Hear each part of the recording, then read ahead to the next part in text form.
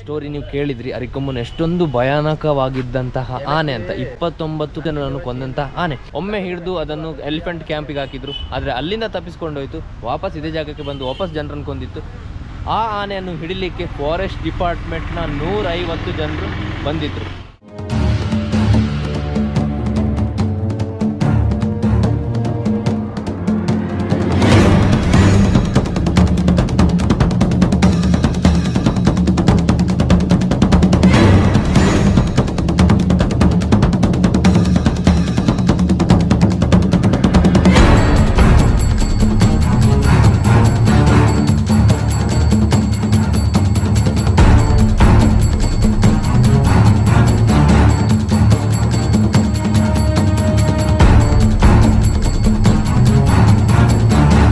so last ತಿಂಗಳಲ್ಲಿ ಅದನ್ನು ಹಿಡಿದು ಈಗ ತಿರುವನ್ವೇಲಿ ಎಲಿಫೆಂಟ್ ಕ್ಯಾಂಪಲ್ಲಿ ಆ ಆನೆ